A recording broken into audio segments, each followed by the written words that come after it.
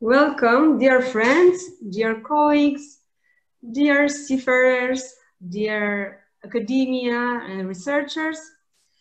To can you hear? Hi. Can you hear me? Yes. Welcome. First Welcome. of all, thank you so much for this opportunity opportunity to get me this live session. We are very happy to meet you. So yeah, I'm I'm from India, Mumbai. Wow, so nice. So we are beginning now the webinar Introduction to Maritime Coaching, three pillars for well-being on and offshore. And I introduce you my colleagues, uh, Miss Alexandra Bădiță. Uh, she will tell you some words about her. Uh, I am Cristina Dragomir. I am Associate Professor at Constanța Maritime University and uh, thirdly is Miss Alexandra Ciucanu that you will soon meet uh, also. Dear Alexandra, what can you tell us about you? Which one? good, very good question. Correctly. okay, uh, let me just uh, stop this share and uh, leave you to introduce yourself. Okay. Let me pin the video. Okay. Hello, Alexandra Bădiță. hello, and uh, hello, everyone. Thank you so much for being here on a Saturday. And um, I'm really excited to, to be here with you and to share a little bit about uh, coaching and personal and professional development. I myself am um, writing and self-esteem coach and also a storytelling and creativity expert. I have been coaching a lot, uh, mostly uh, with women, because it's uh, my passion to help women to be a part of all the industries and to have a voice. Um, I'm also the director of a global women community, which is called Global Women Club. And um, I'm the director of the uh, regional club here in Bucharest. And um, I love writing. I love uh, everything that has to do with the power of expressive writing, journaling, as well as creative writing, storytelling. And you will see that their um, writing is also a very powerful tool that we are going to uh, use in some of the exercises today. So I invite you to please have next to you a pen and a piece of paper because we're going to do a little bit of writing. So um, welcome to today's webinar and I'm looking forward to connecting with you. Thank you very much, Alexandra. Now let's meet the, uh, the other Alexandra, uh, Miss Alexandra Ciucanu. Let me just pin uh, your screen. Okay, you should know that uh, Miss Alexandra Ciucanu is already on the vessel. She's in Singapore. Alexandra, hello. Good evening, everyone.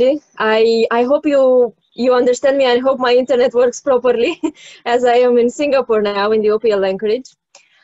Well, as from my side, um, I started this maritime career in 2015 when I joined first time the ship.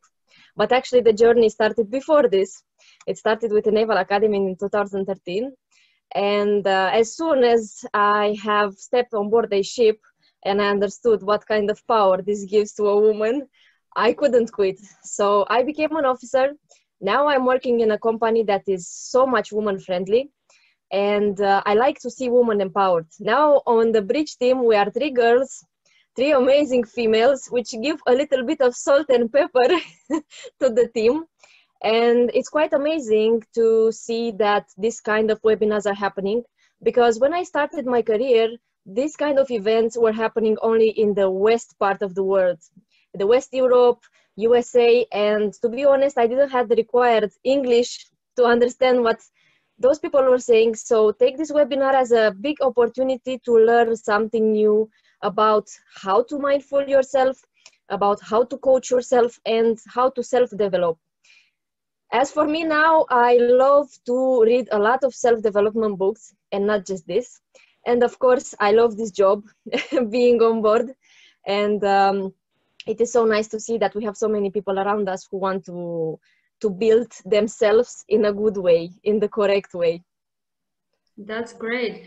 Thank you very much also alexandra. And uh, let's see now uh, our first part our introductory part. I will uh, share screen again the presentation and I will begin with the theory part. We need some theory to start this uh, webinar. So about me, uh, I, in short, uh, so I just uh, told you before, I am associate professor at Constanța Maritime University, and I have a scientific expertise in maritime gender, uh, leadership, um, management, also transport technologies. And in order to better understand the um, way I started the research on uh, gender and leadership, I will tell you just a few things about a previous project where I was the leader. And uh, the project was called Gender Equality and Cultural Awareness in Maritime Education and Training, GCAMET. And uh, this session is live broadcasted on Facebook, GCAMET.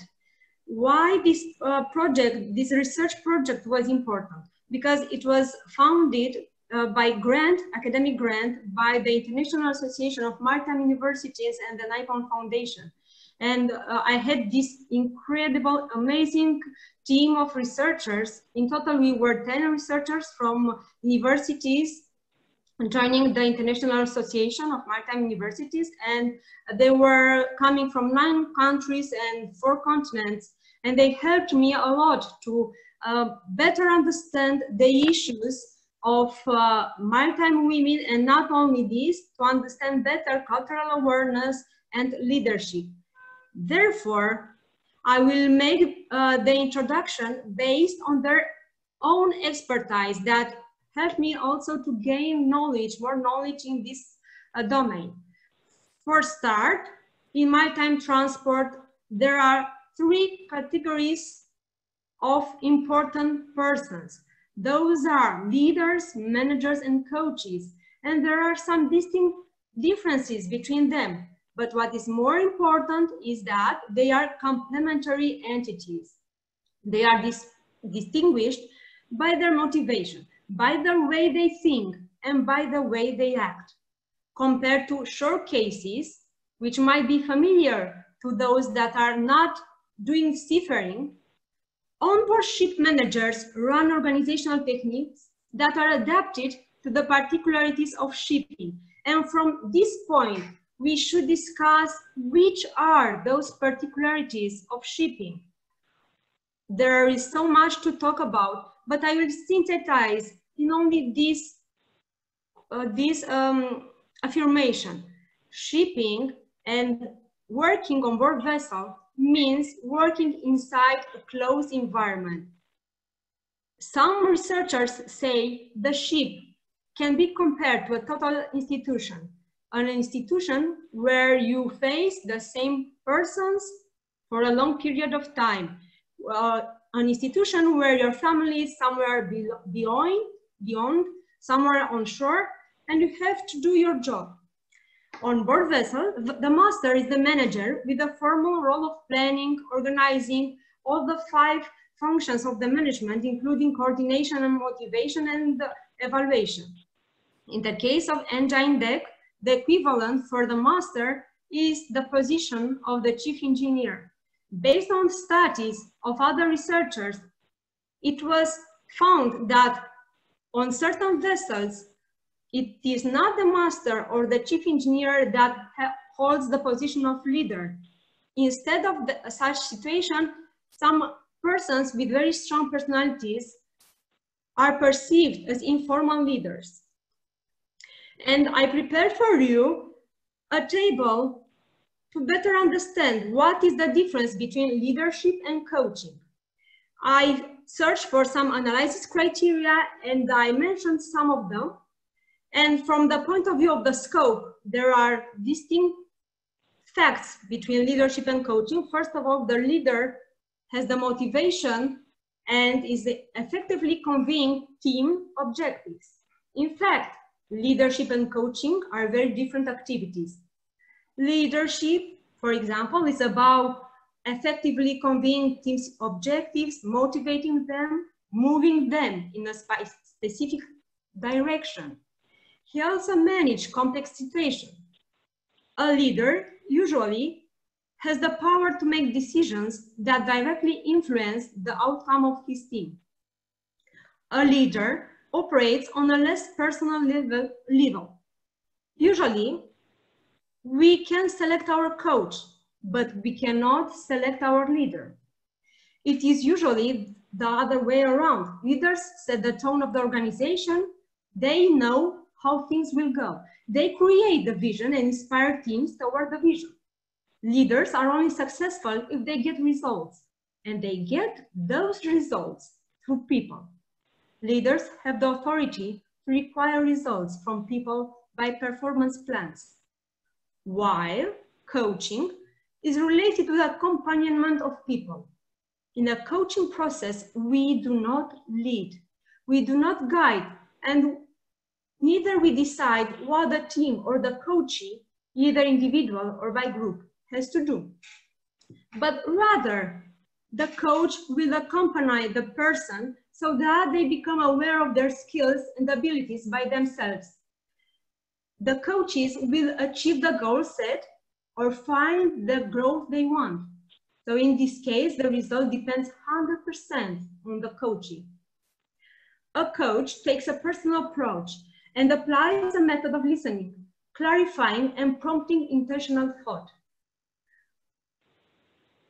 The coach promotes action and behavior changes the, the push the coach beyond perceived limitation. It is understood that the coach cannot see his or her own genius and the coach can and proceeds to tease that genius out from behind the curtain. Coaches create a picture or ideal for the coachee to live. However, however, we find the, that better leadership can be built based on these tools and stages, which requires a reallocation of responsibilities and involvement. We draw some conclusions based on this comparison, that both leader and coach promote action, but at different level. Leader promotes action at the organizational level, while coach promotes action at the behavior level of the individual. A second conclusion is that in a coaching process, the coach does not lead, guide, or decide what the team or coachee has to do. The coach only accompanies the person so that the person, the individual, becomes aware of own skills and abilities. And from these conclusions, we have further questions to discuss, but we just take these questions and hopefully by the end of this webinar, we will be able to find some insight. So, who establish your own goals? What is your balance between happiness and responsibilities? And also, when the follower of the leader is empowered, the leader has the capability to become a coach. So this would be my first part for the webinar. And I'm inviting now Alexandra Bădiță to keep on. Thank you so much, Cristina, and uh, thank you for uh, the introduction.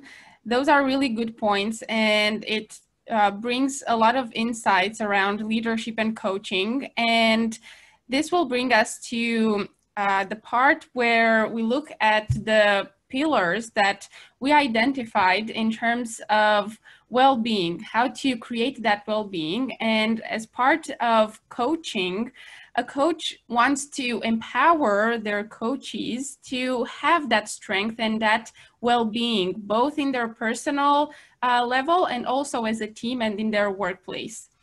So based on the needs that we identified, uh, especially in the maritime industry, we wanted to bring the basis and the foundations for three main topics. And the first one, which relates uh, also to one of the questions that Cristina mentioned in the conclusion about the balance between our happiness and our growth and that is emotional and mental health. We want to address this because it's one of the most powerful topics and one of the best aspects that we want to look at when it comes to our growth, our transformation, and how we show up in our work. And why is mental health important? It's the way that we perform in our workplace is related to our uh, well-being and how we feel.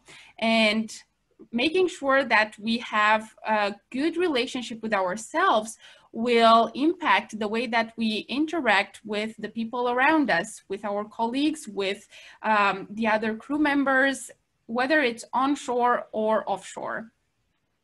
And one way that we want to do this is through mindfulness. So I'm going to um, talk about some powerful techniques and very easy to implement because I really want you to leave this webinar with some easy to implement uh, ways that you can apply right away and that you will use for yourself and maybe also uh, suggest to the people around you so that you will see the results in uh, time.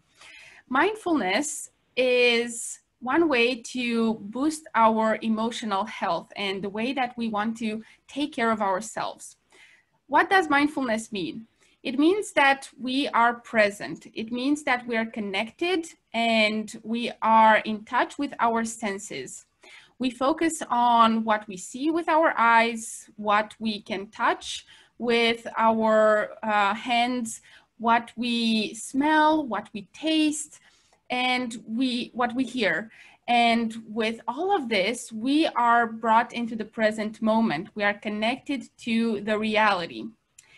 So how can we bring more mindfulness into our life, whether it's at work or outside of work?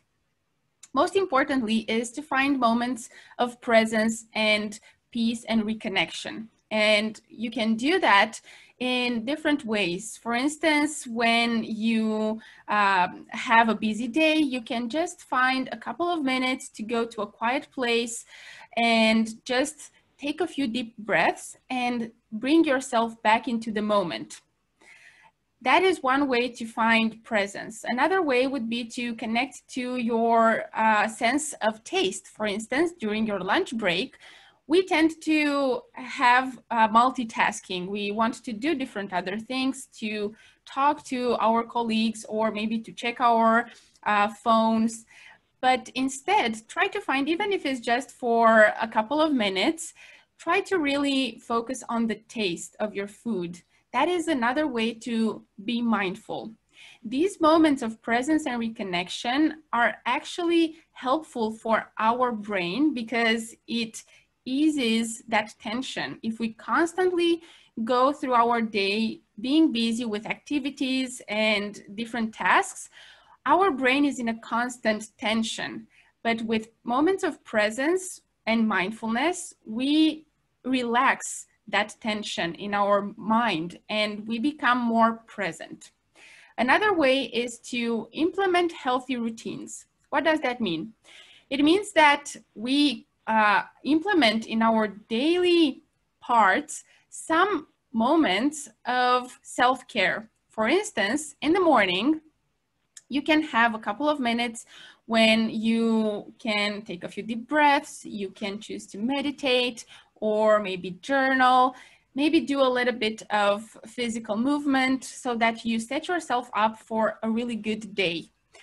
Or you can choose to have a routine in the evening before you go to sleep, whether before you go in bed or when you put your head on your pillow, maybe find a way to practice gratitude, maybe find a way to meditate or to practice breathing.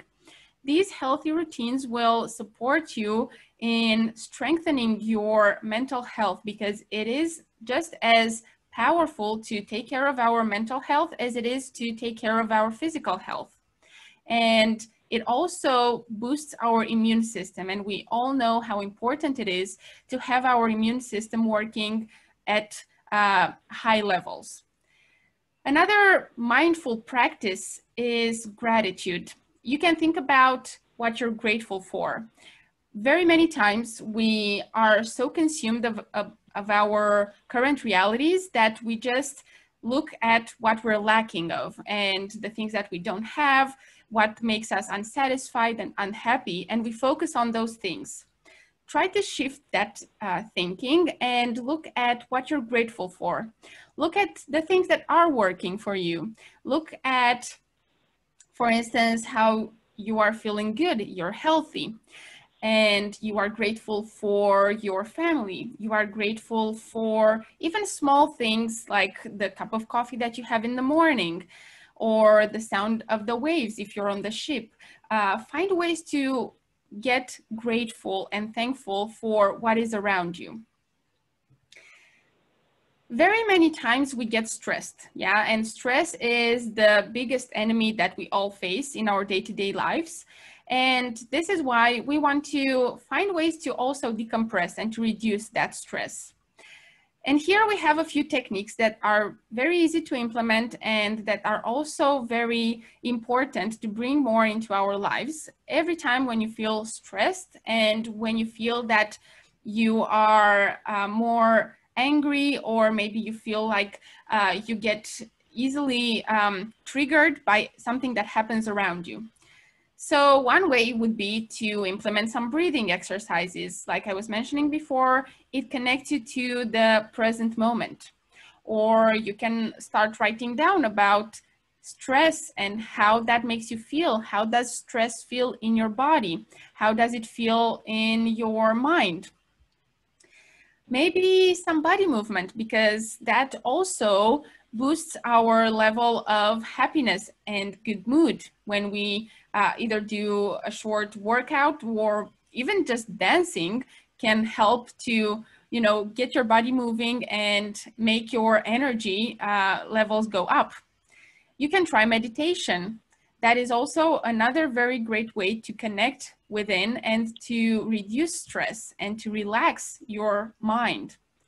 You can listen to music that is uh, a very good way and even music therapy is a, a, way that is practiced by very many people to decompress. Sleep also is very important. When we are sleep deprived we don't work at the same capacities and we feel that we are tired we uh, get easily angry and uh, sometimes maybe we react to situations around us with more negativity and that way uh, we create that stress uh, not only with our with ourselves but also to the people around us. And it's also important to communicate find people to talk to and to implement that listening that we were talking about um, in coaching and that cristina was mentioning as well. And i'm going to also uh, bring it uh, back a little bit later so now I'm going to invite you to do a couple of exercises so that we can test out these stress reducing techniques and that you can later uh, implement them as well in your routines or maybe uh, to also take them further to the people around you, to your colleagues and your team members. Uh, Alexandra, yes? don't mind please. We have uh, two participants that would, would like to tell us something. Uh, shall yes. we listen to them and after that we start the exercises? Yeah, sure, absolutely. We can do that. Okay, so we had uh, uh, Singh, Shashank Singh. You raised the hand. Yeah, yeah, here, Shashank Singh. Yes, would you like to add or ask something? Yeah, uh, I'm here just because of Alexandra ma'am. Uh, I got a reference from Instagram. I'm following uh, Uh, her uh, uh, uh, since I mean uh, four three three to four months. Yeah. recently, I have completed my ETO course. I am an electrical technical officer, and almost I have selected. I have been selected in a MUX, but waiting for the joining.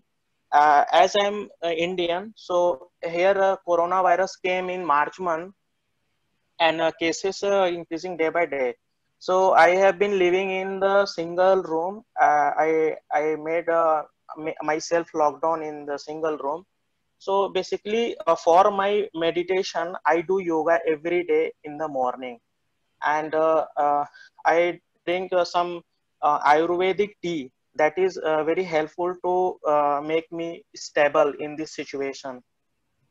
So ma'am i would like to know how to improve my i mean um, uh, that I'm going to you know do work do work on board ship in the MUX. So it would be uh, working for a six month. So how can I uh, you know uh, survive on board ship because I never you know I never been on board ship. So this is the first time for me. Can you please tell me? Uh, thank you very much for your question, uh, Singh. Uh, so, Alexandra, uh, there is this uh, issue of a long time of staying inside with no social connection. either you can say some thoughts or the other, Alexandra, which one of you? Yeah, from my perspective, thank you so much for, for the question. Uh, from my perspective, in terms of mindfulness and implementing um, mindfulness, even when you are on board, find uh, time for those healthy routines. Uh, I'm sure that it's going to be different. It's not like a nine to five uh, job, but even if you have five minutes and do some yoga, do some meditation, uh, in the morning or maybe at the end of the workday, that will bring some balance because I'm sure that um, there will be um, times of stress, but at the same time, it's important to find that connection with ourselves in all situations. And you know, you brought up lockdown, and absolutely, we all went through uh, that stress of being in lockdown, and exactly having those um, healthy routines and healthy practices was the way to get through that. Uh, so that would be my uh, my insight, and I'm sure Alexandra will have another um, some more insights from uh, being on the ship. Well, this is um, this is a very good uh, question actually. How to survive on board ship six months after you've been in lockdown and so on.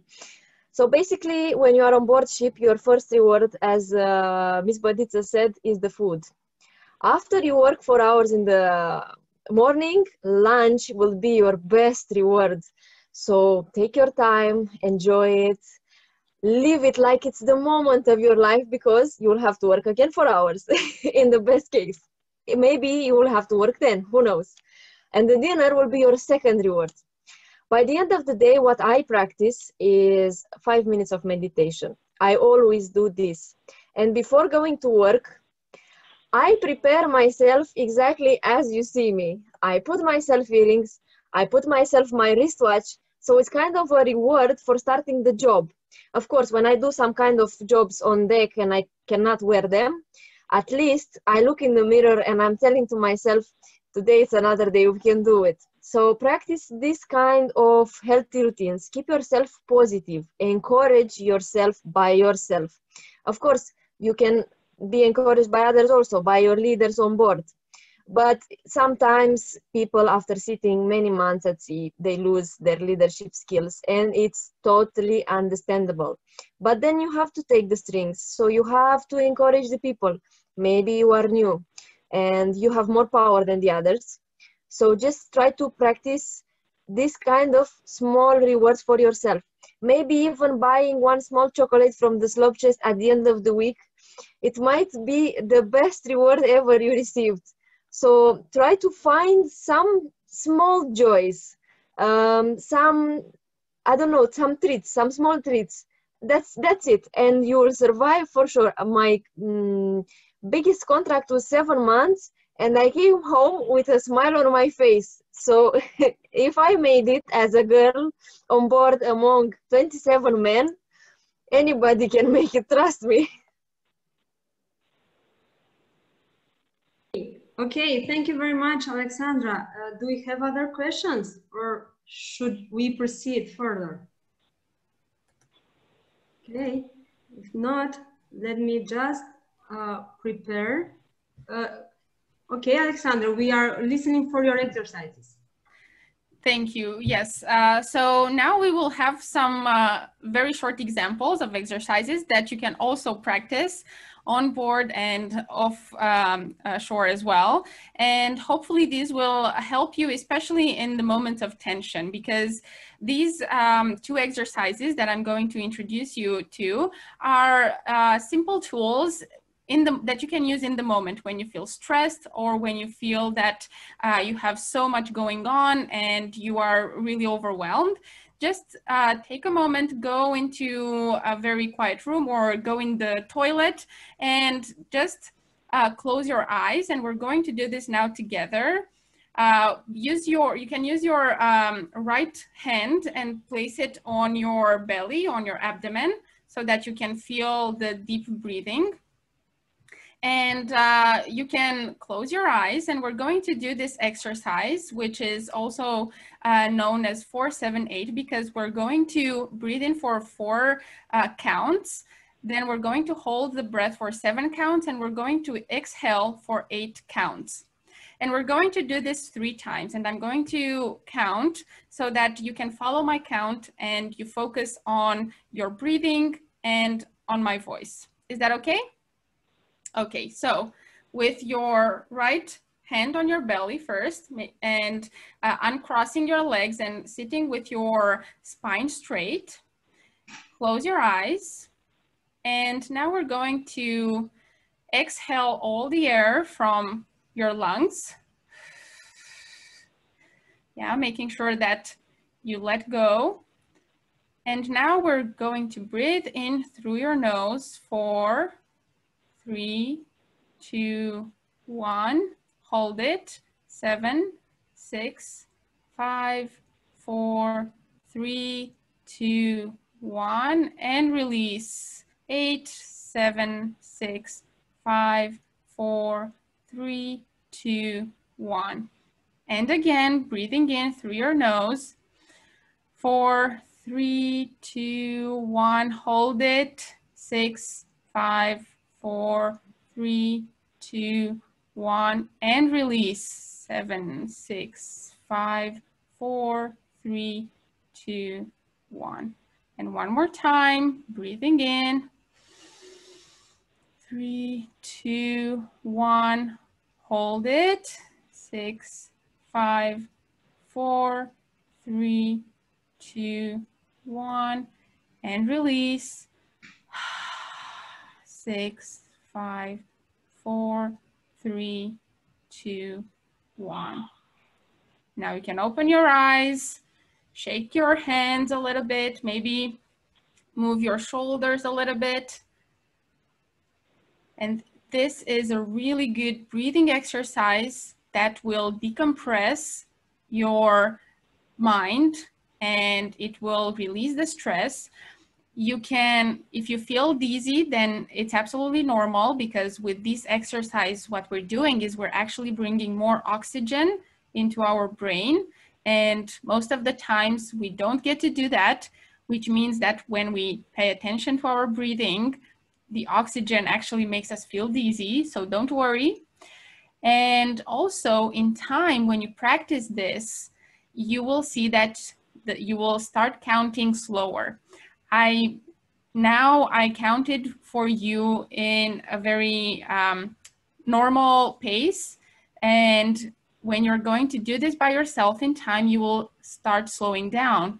And it, and it will be for the breathing in, it will be four, three, two, one. Yeah.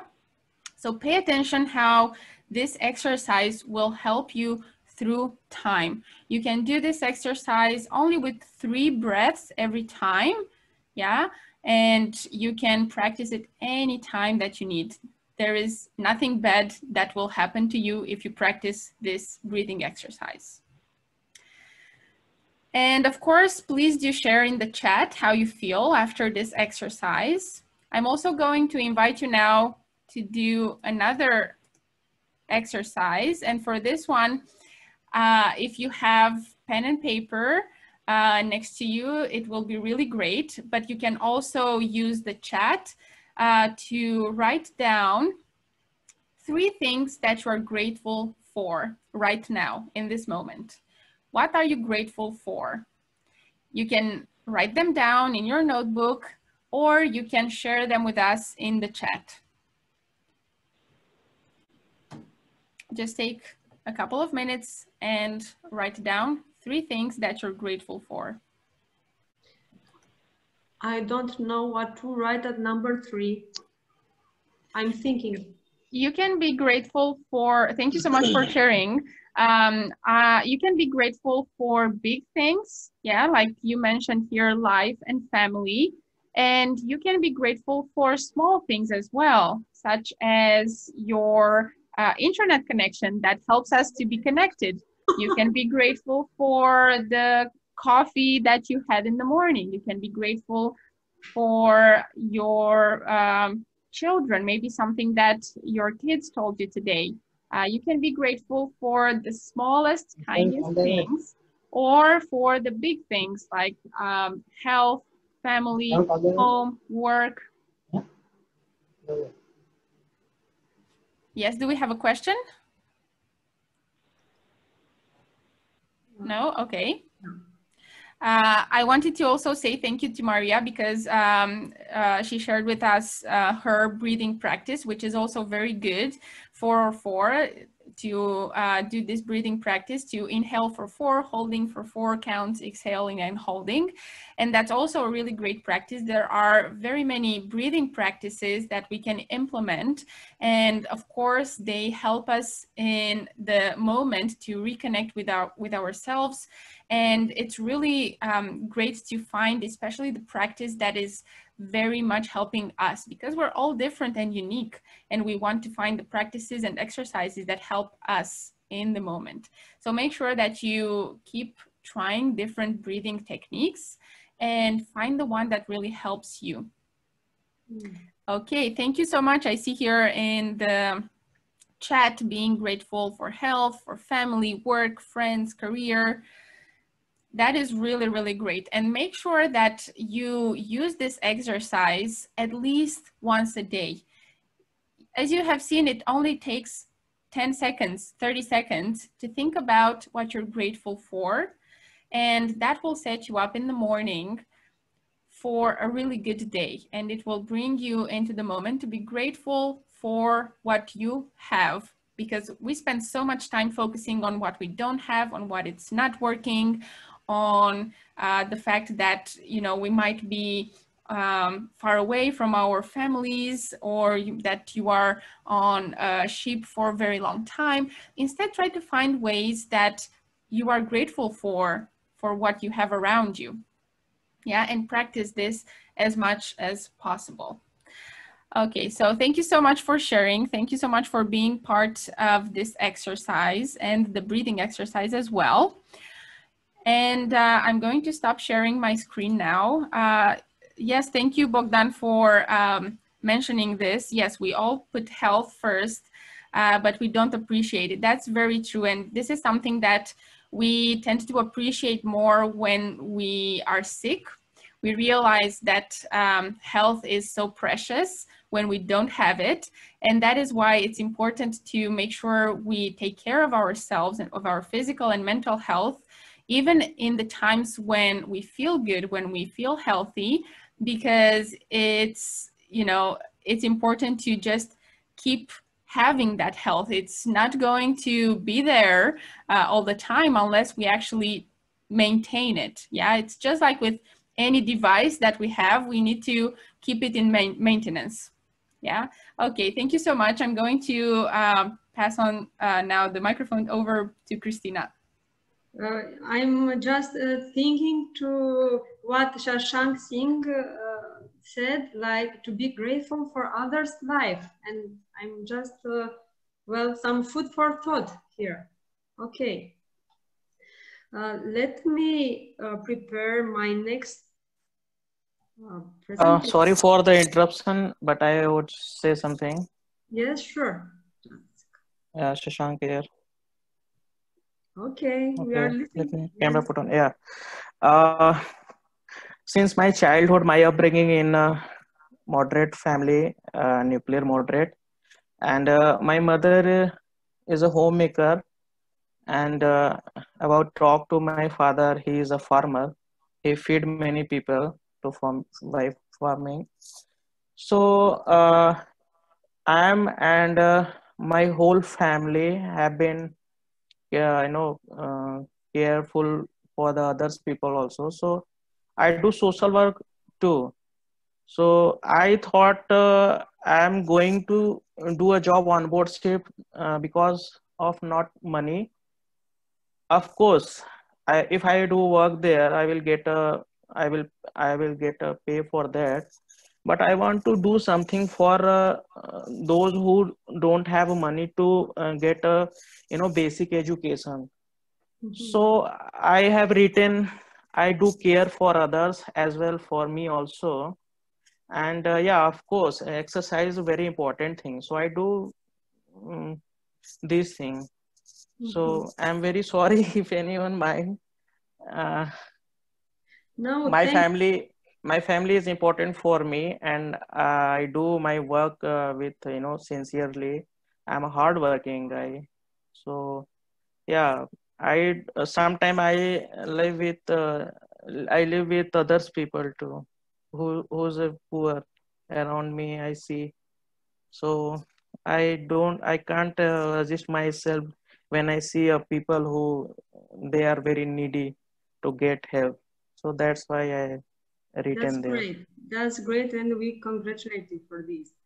Okay great. Thank, thank move you. on to the next presentation. That would be some maritime coaching exercises that i thought for you.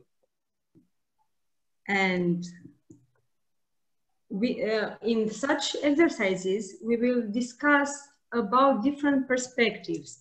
And as a basic introduction, you just, you should think to maritime coaching by default like a pillar for stability. It's like an offshore rig that should provide you stability. But the question is, how can we find our own maritime coach if we don't have such a coach on board vessel? So maritime coaching involves many things from motivation, from development goals, from certain skills that the, the person that pretends to be a coach should have. Also uh, involves a lot of um, supporting and advice, but especially from my point of view, I would like to stress that since kindergarten, since childhood, we were all surrounded by coaches, but probably we did not just realize that. So a coach can be someone that is there for you, assist you in many things, in many ways.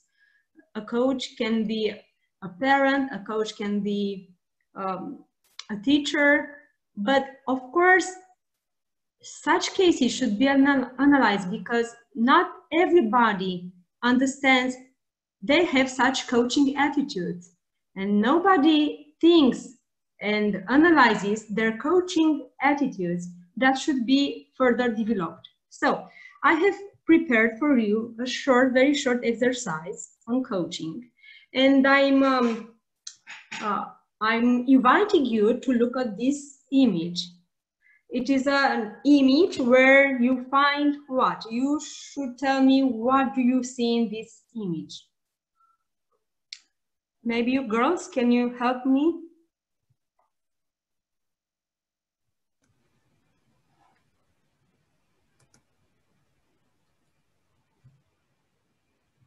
I think we're getting some responses in the chat as well. Peace. Light calm, sunrise. Oh, that's so great. Okay, thank you very much for your interaction. But what about this image?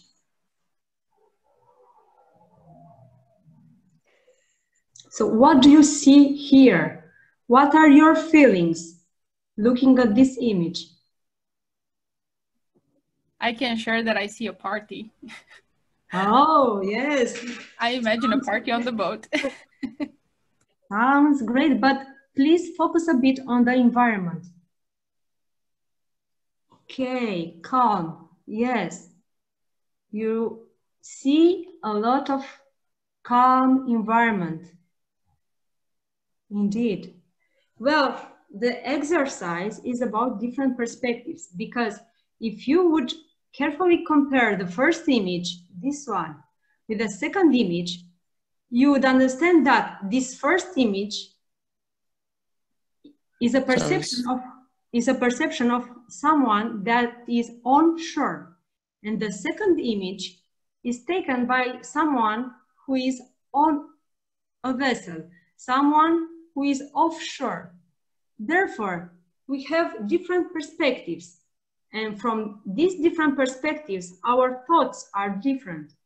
Therefore, a maritime coach should take into account such different perspectives and should understand better this very calm attitude, obviously outside storms and bad wind, also this calm attitude, but also the coach should understand that there is such a huge amount of water and sometimes you just sail and sail and there is no ship around you and there is always this close environment for six months, like our friend told us, for eight months, 10 mo months now with the pandemic. And of course, we love to be surrounded by calm, but I'm just wondering, sometimes maybe too much calm, is it good or not? This would be uh, my first uh, exercise about sharing perspectives and thinking to multiple perspectives. The second exercise would be an exercise that I would apply with my students. It is called Turning the Life Raft. And you can see here all the perspectives of this exercise, like what material you would need, what equipment, a life raft, or else if you don't have a life raft, you can uh, imagine and use something similar to a life raft. It can be flattened if you are in an inner space, such as the classroom the life raft does not need to be computer operative. The space, a closed environment, can be inside the classroom, inside a training room, on board vessel, or in open space on a deck. The duration of the exercise should be about 30 minutes, and the people, the trainees, the coaches, will be involved in turn deck the life raft, everyone on the group should uh, stand on. And the group aim is to flip the life raft over in the fastest time. Nobody must step off the life raft. If anyone put their foot on floor, the experience must be repeated. And such kind of exercise can be uh, redesigned in different conditions, depending on the condition. But the key coaching understanding is the following the coaches should focus on team working and on collaboration. Listening and questioning between the students is also um, desirable thing to do, and also discussing and integration of different ideas and different perspectives. Final, the open question will be addressed to the group. Did anyone view the life raft task as impossible? How did team members try to keep everyone on the life raft? And eventually, did the group cheat in order to, set, uh, to make the exercise successful? So this would be in large lines my exercises for you now. And I would uh, also like to share you some other things to think about like the crossroad choices. You see here two types of crossroads. Uh, often in life, we meet crossroads that make us follow a certain choice, a certain decision. And in general, these moments are so difficult that we desperately need someone to guide us, whether it's God, whether it's a friend, uh, either, either is a colleague, a family member. So we must identify a person to talk to. And if on board vessel, we don't have such a friend to talk to, then just follow up Alexandra's tip, Alexandra's exercise, take a sheet of paper and start writing. And finally, I will share with you a secret of success in case of coaching. don't just accumulate knowledge. We are so happy you are here today with us and you accumulate knowledge, very useful knowledge. We are also um, hoping you will attend other seminars, other webinars and other educational programs to accumulate knowledge. But what you should understand is that you should think how to use your knowledge in order to do action, in order to create concrete results.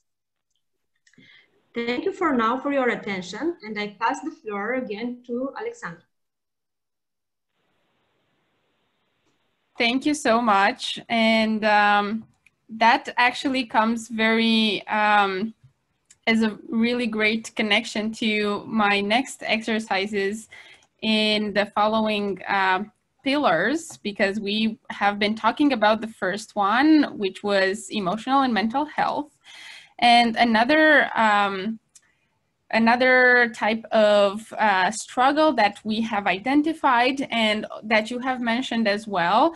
And we're going to talk about those tips on um, connection and listening we uh, have seen that work and life balance is also um, very important to maintain, of course. And when it comes to being on sea, that means that you are away from your family for a long time, which means that you are uh, inclining the balance more towards work. And that's when it can become more stressful. So it's important to make sure that you find ways to cope with this situation and to um, relax that stress and that tension that comes with missing your dear ones or from having uh, different news coming from home and so on. Now, the way that I like to look at this is integration, work-life integration instead of balance. Why integration? Because when we talk about balance, we see these two pieces as very separate. But how can we integrate them? Very many times we try to uh, put on a mask when we are working and we try to put our emotions aside but it's inevitable because we're not robots so we will have emotions. So if there is something uh, going on in our life in our personal life then of course we will have uh, we will not have such a good day and we will feel less um, called to do our work. We will feel maybe slower uh, when we do our tasks and of course it has an impact on us so why do we need to find ways to uh, cope with that? Because we have to integrate these two aspects. Now let's look at some techniques um, that we can use when it comes to uh, this work-life integration and understanding these emotions and how they are integrated between our personal life and our professional lives. And um, one way is, of course, to be more understanding and kind with each other. So in all interactions that we have with the other crew members, we try to we try to see the way that we are right. Yeah, we feel that we are always right and the other person is wrong. But so, so many times it's not a personal conflict, it's just something that the other person is going through. So just keep in mind that everyone you talk to, everyone that you interact with, even on a daily basis, you might not even know what type of battle they are fighting and what is going on in their personal life. And they might be going through something that you don't know anything about. So just remember to be kind and understanding all the time. It's uh, something that we can learn to cultivate more in all our all the aspects of our lives to be more kind to be more inclined to uh, allow people to be vulnerable and to share what they're going through. And this leads me to the next way to the next uh, tip that you can also implement. And it it means that you know even when you don't have um, a coach on board or when you uh, don't have necessarily um, a way to connect with uh, the people uh, who are at home, you want to communicate how you feel. this is where that integration comes into place. Find someone in uh, your team to talk to or offer your time to listen to someone who is going through a hard time. Like I was saying earlier, you don't know what the other person is going through, and you might see that they are struggling. They might not be in the same good mood that you see them all the time. So create that safe space for them to open up and to share and ask questions. Be genuinely curious and interested about what they're going through and be there for them. This is where you practice that presence as well. In coaching, we talk about that as being an active listening because we want to create that space where the people in front of us are open to share whatever it is. As coaches, we don't guide you, we allow you to find that guidance. So you can also use this technique. You can ask the other person, how are you feeling? Do you want to talk about it? And then carry on with that conversation. Perhaps you notice that you are going through something similar, or maybe you have gone through something similar, and you want to share that with them to establish that emotional bond. You know that any conversation is an exchange of stories. So you might want to share something as well, but make sure that you don't take away the spotlight from the story of the person who is sharing first. Take turns in sharing, take turns in opening up and make sure that you are there for them. Sometimes they may not even need advice or recommendations. They just need someone to listen so when you practice this listening, you are not going to give any judgments. You are not going to say, oh, this is not good, or you shouldn't be like this. You're just going to listen. You're not going to offer unsolicited advice. And, you know, in coaching, we don't give advice. And we're not going to interrupt the other person. We're just going to listen to them. So next time when you see someone maybe who is not in their uh, best shape, just ask them, how are you feeling? And do you want to talk about it? And create that safe space for them and try to see if there is a conversation that you can have with them.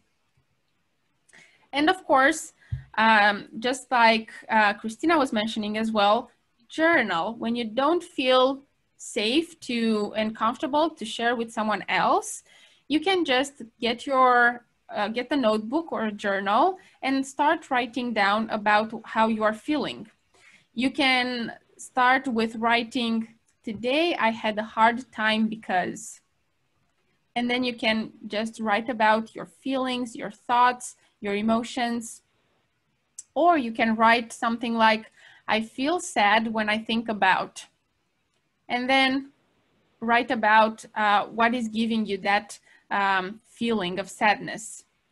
Or you can try to shift your mood from when you are in a, a low space and you feel uh, that you miss your family so much when you're away from them, for instance, and you're on the ship, then try to connect with positive feelings and with positive memories. And write down the best memory I have with my family is when and just start writing down because that will shift your thinking from focusing on being away from them into reconnecting with those beautiful memories that you have with them. So try to do um, these exercises and try to put these um, skills into practice. Be more kind, listen to someone who is going through a hard time, and journal. Keep a journal with you and start writing down. Now, I'm going to uh, pass the microphone over to uh, Cristina for the next uh, step, and then we will continue with some more exercises. If there are any questions, please do feel free to share them in the chat or uh, share them with us. Thank you very much, Alexandra. Uh, it's so great you have so many good exercises. okay, and also we are waiting for your opinions. Uh, just feel free to write them in the chat section. Meanwhile, my third part will be something related to maritime coaching for seafarer women. Again, the presentation that I prepare for you is based on research that I previously done with my colleagues from uh, gender equality research. And uh, now we are talking about the role of the maritime coach. We have concluded in my uh, previous part that the maritime coach compared to the maritime leader has the duty to guide the coaching and to assist. The role of the maritime coach is to ensure the coachee is properly guided to open its own, his or her own strengths and capabilities. And I asked you previously, what to do if we don't have a maritime coach on board ship? And I introduced uh, the exercise of Alexandra with the journal, writing the journal. But based on our uh, research, we discovered that, in fact, a lot of very good coaching opinions and perspectives are found from individuals like seafarer women that were interviewed in 2018 during our study. We use a scientific research tool, a structured online interviews, and we compiled all these answers coming from seafarer women. I, so we asked them, what advice would you give to females who want to pursue a career in seafaring? And we discovered something really awesome, really great. They replied with their own experience based on, our, on their own expertise and their own um, events they were passing through. And I would just like to briefly read some of their advices to understand how a support group like a seafarer group would do a huge help for motivating other seafarer women. For example, a Filipino seafarer woman replied, you must have the courage and strong heart to follow your dreams in life. A Belgian, fight for what you love. Again, Filipino, seafaring is a very challenging job. For you to prevail, you must know your rights and must know the right people who can help you when things go wrong. Respect can't be bought, nor it can be forced on people. You have to earn it. I really like this idea. You can start by respecting yourself. Another opinion, stay strong and be positive all the time. This, uh, Alexandra, in fact, is also uh, part of what you are saying. Don't let men intimidate you because they are men. Work with them. So cooperation is the key word here. Show your worth as part of the team. Never let your gender be a hindrance to your career. Be dedicated to your work. Again, uh, here I conclude a focus on professionalism. A seafarer woman should be a professional from the first step on board vessel in her working space. Prove that female can also contribute to the development of maritime industry so that more companies will hire and accept female seafarers to work on board. In uh, our scientific research pool, other nationalities replied. We had also Romanian, Swiss, Australian, uh, British, uh, here are only 18 uh, replies, but in total there are much more. And I mentioned there the published um, paper where you can find all of them. And in the end, I would like to read uh, an Australian seafarer women, woman opinion. She said, you have every right to pursue your dream. Don't be disheartened by other people's experiences. Don't set yourself aside from your male colleagues.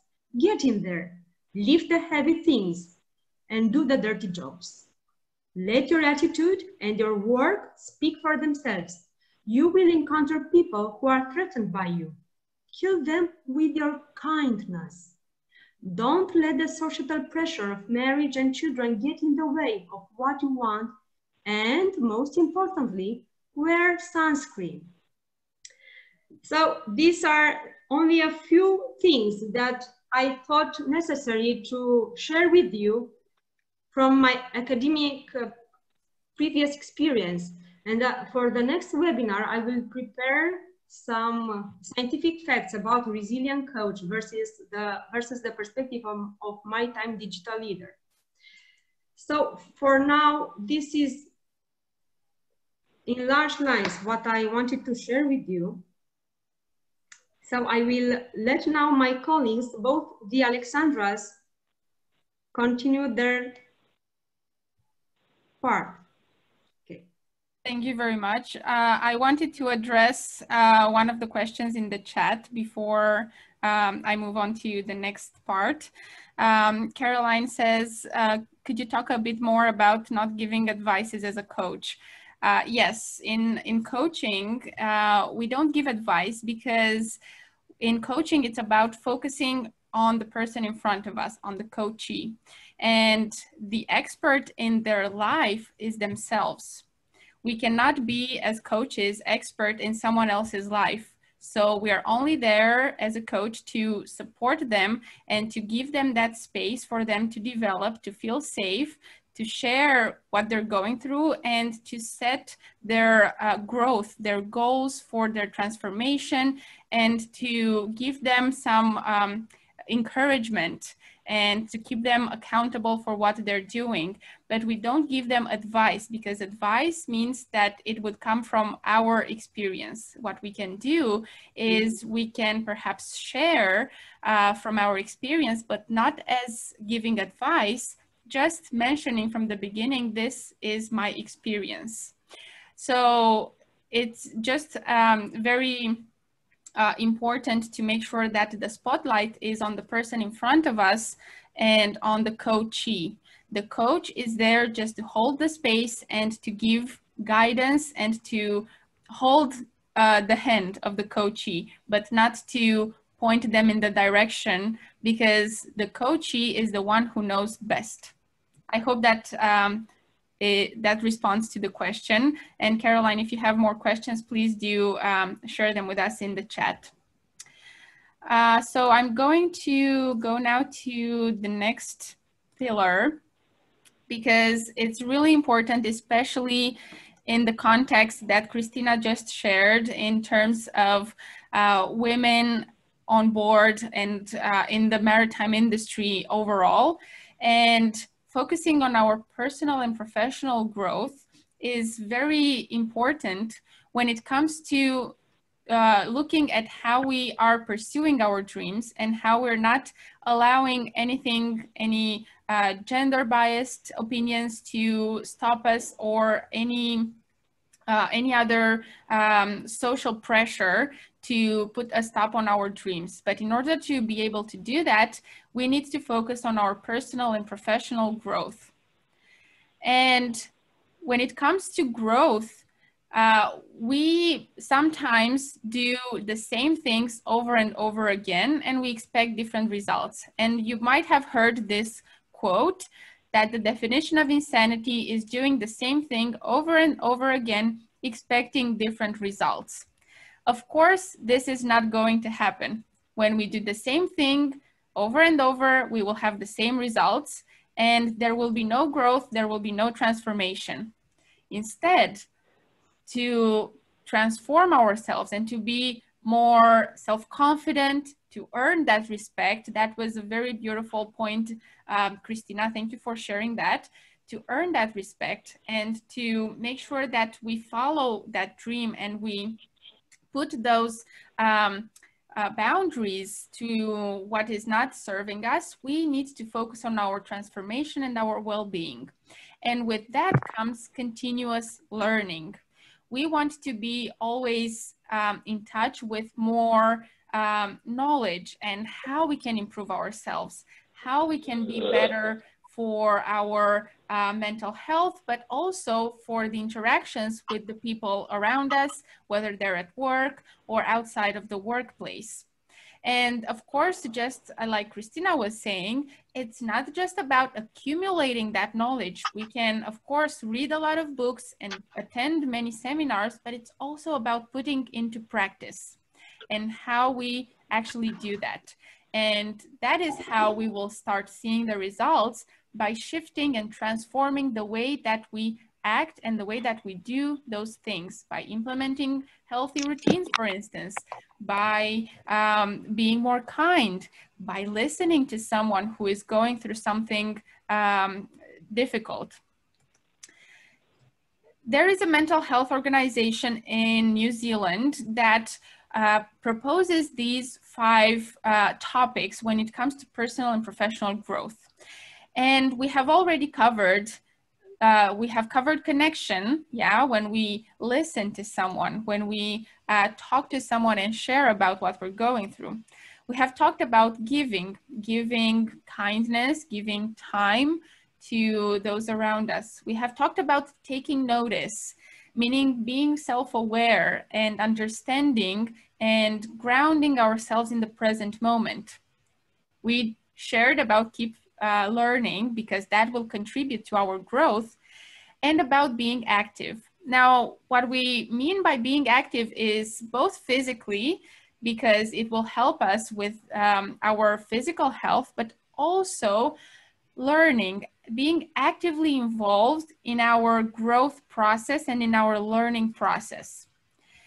And what I notice mostly in, as a coach when I talk to people is that people are focused on the lack of strength. And when we cover learning and transformation, they focus on, well, I'm not good at these skills, so I have to improve them. But it's also important to acknowledge our strengths to acknowledge what we are good at. And this following exercise is going to put the spotlight on that. So I'm going to invite you once again to take the, uh, the pen and paper and to write down uh, something based on this context. Think about the challenge that you have been through and how you managed to overcome it it's better to choose something that you have already overcome, that is something from the past, something that you have healed from, instead of something that you're currently going through. But think about what you learned, what overcoming that situation showed you about yourself. What strengths did you find in yourself to overcome that challenge? And what did you learn about yourself and your abilities? Take a little bit of time and write it down. And of course, if you feel comfortable to share uh, something about a challenge and what you learned about yourself, please do share it either in the chat or just unmute yourself and um, share it so we can um, hear about your strengths. I'm just going to give you a little bit of time.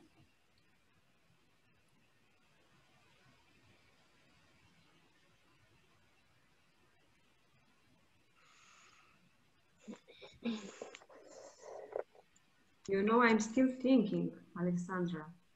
Hmm. but I Is it? You are thinking about uh, a challenge to identify a challenge. It doesn't have to be something big. It can be something very small. I guess there are so many that I cannot choose choose the best. Okay.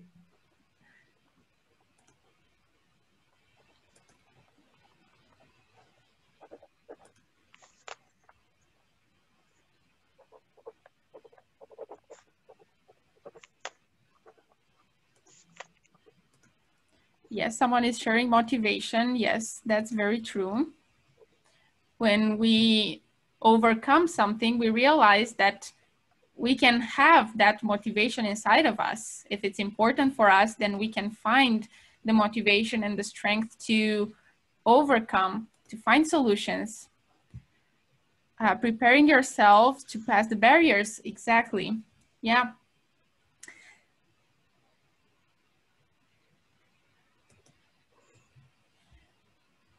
Think about whether it was a challenge at work, maybe it was a difficult conversation, or in your personal life. What did you learn about yourself and your abilities? I know sometimes it's difficult because, like I was mentioning, yeah, it's easier to look at what we are not good at instead of looking at the skills and the strengths that we have and this is why this exercise is really important.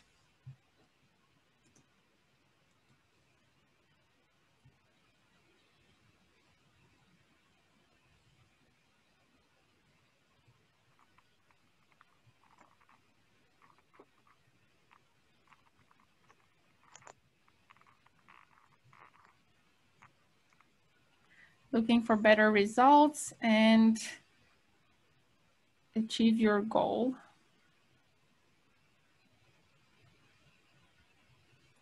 Yes, thank you for, for sharing in the chat.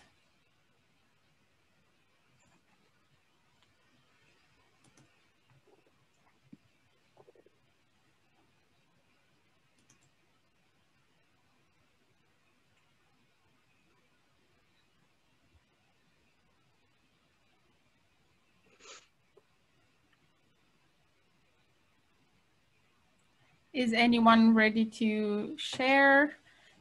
If you're not comfortable to share the challenge, you can just share with us the strengths that you have, the strength that you identified in yourself. Even if it's just one word, I would like to hear from as many of you because I know this is difficult and it takes you out of your comfort zone because we are so focused on the skills and the abilities that we don't have and we forget to acknowledge what we're good at. So if you could please type in the chat box or just unmute yourself and give us one word, that will be all. Resilience, yes. Alexandra, it's good to uh, read some of them because uh, on broadcasting we cannot see the chat. Yes, I, I am going through the answers now. Uh, so I'm a multitasker. However, I'm learning to say no so that I can focus more on production tasks. Yes, that is a very good uh, strength, uh, saying no. That's very good. The challenge showed me that I'm able to do everything with a bit of research, even if I don't know anything about it. Yes, that's so powerful. Yes, that makes me ambitious and not being afraid to overcome new things improvise, adapt, overcome sometimes does the trick. Yes, absolutely. Absolutely. Start before being ready because very many times we just put barriers to ourselves because we feel we're not ready for doing something. But once we start doing it, we learn along the way. And that shows us that we're ambitious and we don't have to be afraid of new things and new opportunities. So thank you so much for sharing, Elif. Resilience, yes. Able to accomplish things at very short notice. Won't know unless I did it. Yes. So basically working well under pressure and when you have a short deadline, that's a very great strength to be aware of. I was once questioned by my boss about what I was asking for developing a certain business. So I answered, okay, if we don't do this, we will lose the business, but it is your decision. The result was that my boss finally did what I was asking for, and the business was very profitable. So I transferred the responsibility to him, and he felt responsible, and he did what I asked. So you learned to speak up and to um, state your opinion, which is really important as well, and to pass that um, responsibility to um, uh, to give the, the responsibility to someone because they can be accountable for it as well. Very good. I discovered that even though I'm young, I can inspire other people. Very, very good. Yes, exactly. We have this in us. It it's only a matter of being open and sharing from our experience because you never know. Even, you know, so many times we feel that, oh, nobody will care about our story or about our experiences. But in fact, if you open up and share something that you are uh, going through, or maybe something that you read about, even if it's just one person who gets value out of it, that is going to be very important. It will maybe change their life. They will remember that lesson. Maybe it's something that they really needed to hear in that moment. And you are an inspiration to them. So always be open to sharing with other people. Um, and that is carried sometimes that happens with everyone, even those who are really successful. Yeah, well, exactly. Thank you very much for all your opinions. Uh, let's move a bit further, yeah, because we have like six more minutes, and every anyway we will exceed the time, but I hope nobody nobody gets upset of that. Um, let me pass the floor to the other Alexandra, uh, Alexandra Ciucanu. Please share your perspective with us. Well, um, I will make a short conclusion. um, be careful with yourselves on the way to mindfulness because there is an effect called frog, effect, and I will talk a little bit about it. You know, the frog has the uh, capability to adapt herself in environment. What they did, they took the frog, they put it at a temperature in some water, and they start increasing the temperature and increasing it. And the frog was still adapting and still adapting until the frog finally started to boil. So she died. Be careful with adapting yourself to some situation. Put yourself thresholds. What I understood about myself and my abilities is that I am very um, sincere with the job and um, even that I overcome some very bad situations at a point, uh, I understood that the only person that can make me happy or upset is myself. The problem that I always had, it was empathy. I was always empathizing with people's feelings. Some of them are not so positive as you.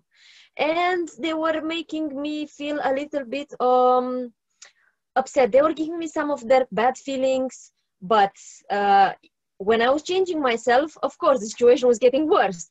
So this is this is not uh, something that um, it was supposed to happen. The situation should have get improved.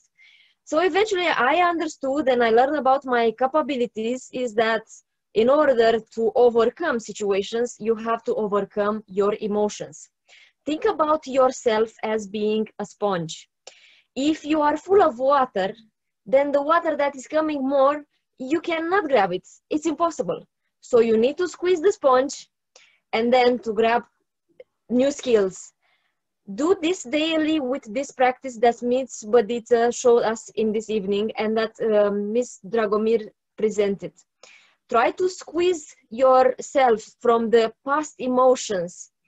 You cannot expect, as Alexandra said, to receive different results from doing the same thing. This is impossible. So try to change a little bit. Get rid of the things that may hurt yourself in the past days in order to overcome the new challenges. Basically, what I'm saying is whenever you put your head on the pillow, try to practice to practice this well-being a little bit, a little bit today, a little bit more tomorrow, a little bit the next day after tomorrow. And believe me, it takes 30 seconds, 30 minutes, maybe three hours to learn skills that can save your life skills that you will use for your whole life. Think about how you learn how to drive the car. You learn it in some lessons and you are using it for your whole life. It's the same with the well-being as well. If you want to be healthy, if you want to overcome the challenges in your life, if you want to help the others, if you want to live a happy life, just take your time to learn the correct skills. So consider self-improvement every single day. Now, because I didn't know exactly that I will be able to join this session, since I'm on board and I have challenges every time and uh, the phone might ring at any point, so I have to go. I made a short video about the thing that I faced since I started this maritime career the most. It's called Unconscious Bias and Miss Cristina Dragomir will play it. And by the end of my um, of my uh, speech, I would like to thank everybody for attending our webinar, and I hope this will be just the beginning of a beautiful coach journey. Okay, let me just use the technology to help me. Okay. Uh, please confirm you can see the um, uh, you can see the video. Uh, no, not yet. Mm -hmm, okay. Only what? the link. Now we now can you see it? Yes. Good, good. I feel our dear guests and colleagues, I feel honored and in the same time a bit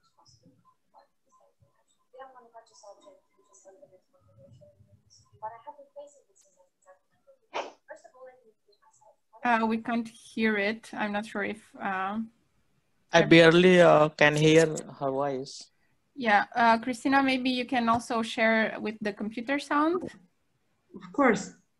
I think I I'm stop sharing and I will share it again. I think. Wait. Wait. Wait. Okay, so share screen, share computer sound, okay. And ignition. Can you see it now? Yes. Oh, Yes, and colleagues, okay, I feel honored and in the same time a big responsibility to be part of WISTA International. Today I'm going to touch a subject which is a little bit controversial in the industry, but I have been facing it since I started my career. First of all, let me introduce myself. My name is Alexandra. I'm a third officer. I work on passenger ships at the moment. I started my career five years ago and I passed throughout different types of ships like ro-pax and container carriers, and in the end now in the passenger industry in the cruise life. Today's topic it's unconscious bias, which I have been facing it and I feel like it's a little bit underrated and it needs to be more than awaked. Look at us, life is so crowded, so busy, we live our life on daily basis assumption, traditions, on the way we grow, whatever pops up in the day, you don't know, lesson learned you have in life, so you create your own background. What if I tell you that daily we have 16,000 thoughts and 14,000 of them are the same thoughts from yesterday or from the day before so it means like we are spinning in some kind of a circle. We follow just our mindset on the spot like we are on autopilot. So let me give you an example.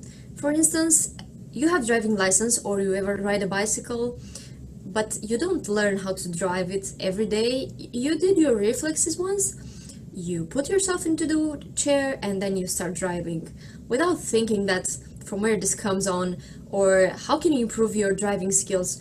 You simply drive and in your mind while driving pop up totally different stuff.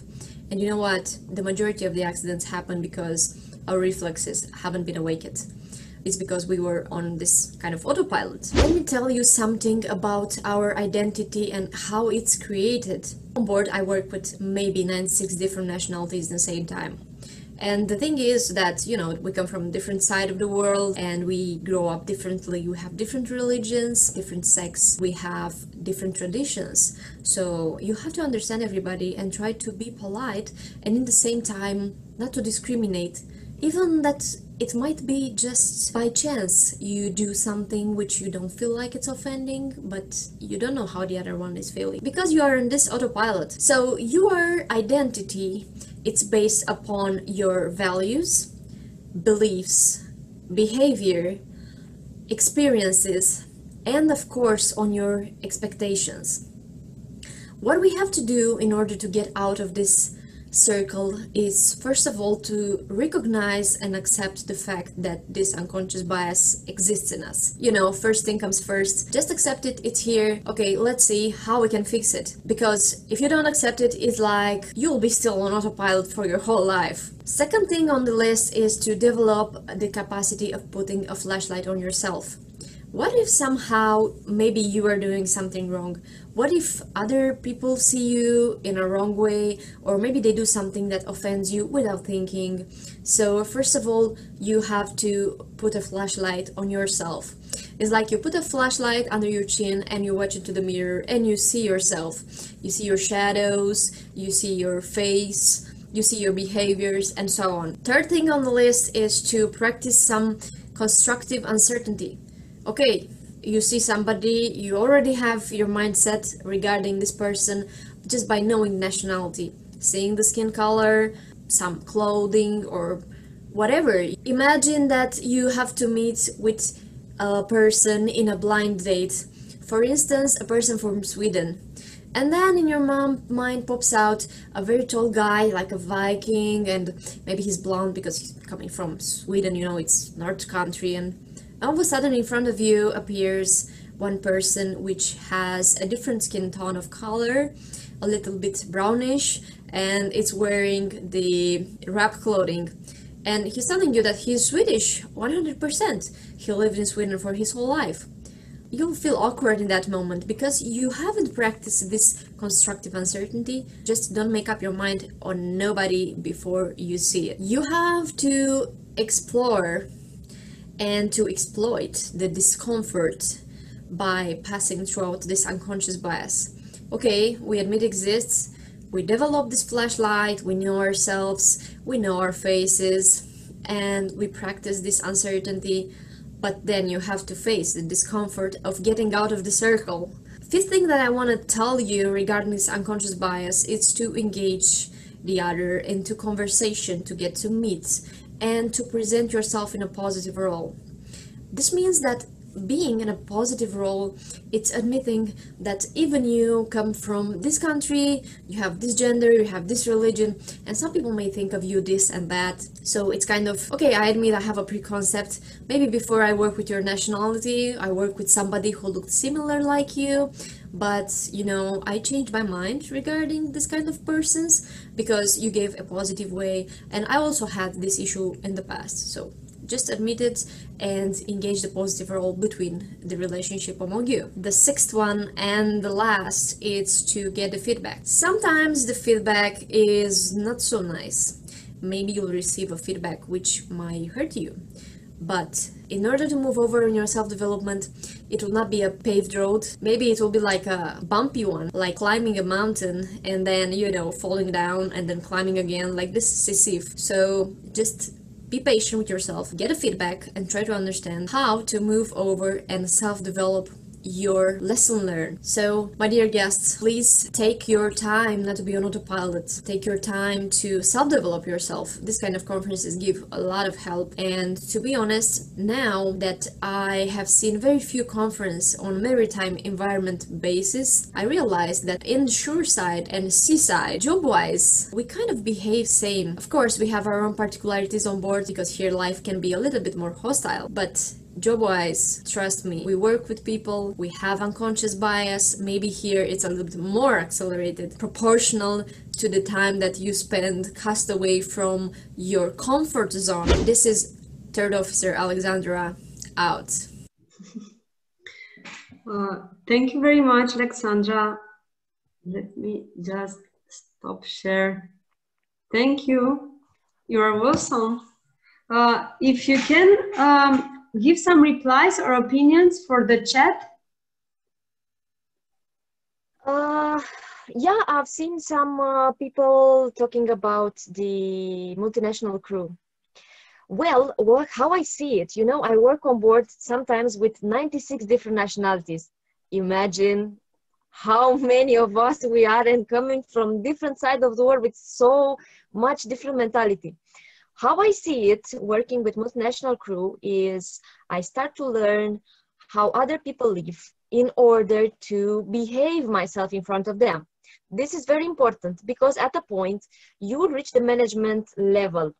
And to be honest, when you reach that point, you need to listen to everybody. You need to practice this coaching that uh, Ms. Bădiță talked about.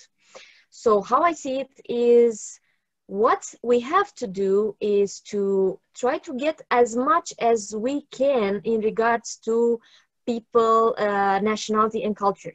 For instance, I have experienced, I will give you just one example. I have worked with Indian crew, but India is such a huge country that even them in different side of the, the country, they live totally different. It's like a different world. So in order to understand them better, just uh, try to see the person as it is. Maybe it was born in the north, now is living in the south, and so on. I come from the mountainside uh, where people are very straight. They talk for themselves instantly. And when I came on the maritime environment, and I saw people so relaxed, sometimes they talk, sometimes they don't. For me, it was very strange. So I have experienced this unconscious bias even in my own country. Living with multinational crew on board is the most important thing that you can have. It's a blessing, believe me. You can uh, get as much as you can from history, culture, traveling. Um, I don't know, for I love food, so I kind of uh, try all the foods that they have all around the world. So it's a blessing. Think it this way, you know, take take the culture as it is uh, on the other hand, yeah, it's difficult because you know they have their costumes and um, maybe they have their own traditions, which you have to respect. But uh, on think it's on both ways. Take the good part and try to understand the things that you have never seen before and um, kind of that's about it if you have any kind of questions for me i will uh, i will be here to to to pick them up. Maybe miss dragomir can read for me because i'm using only my phone here. Yes unfortunately we cannot see you so uh, well but we can hear you perfectly. If uh, there is uh, anyone of the webinar participants that would like to add something or to share something with us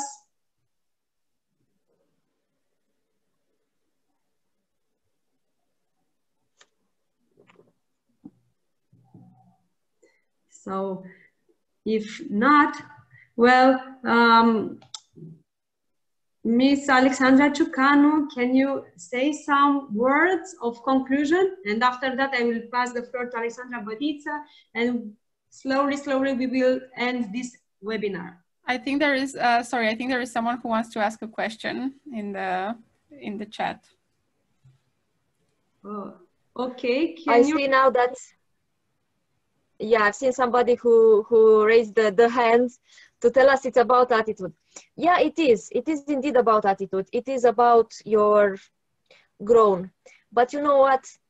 If you start to coach yourself uh, you will understand that the person who has this attitude it doesn't have it because this person is a bad person.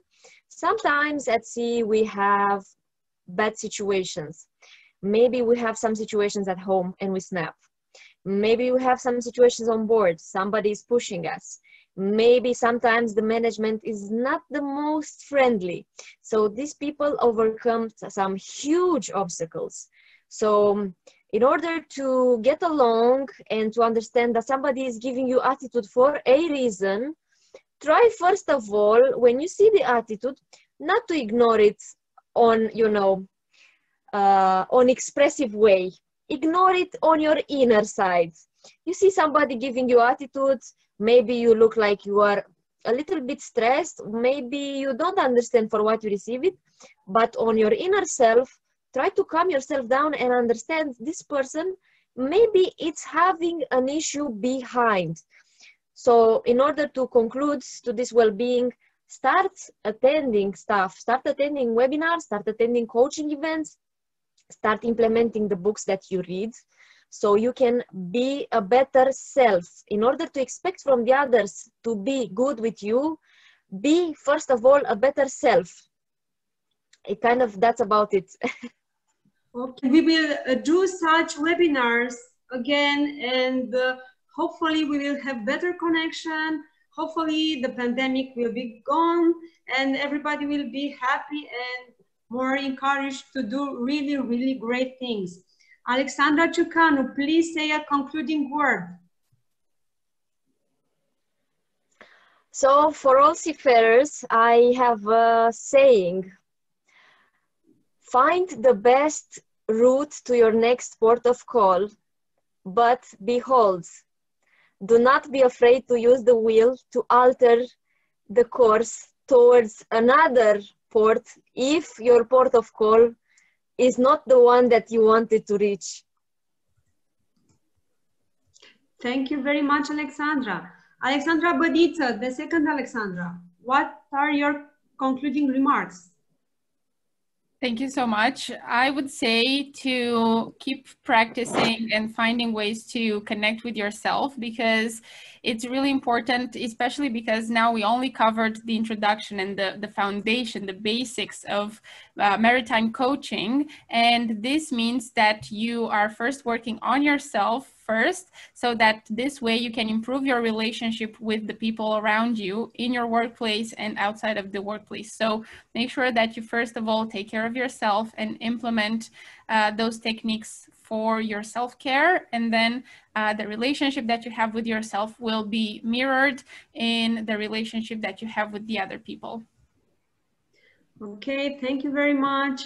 Uh, thank you to all participants for this really great event.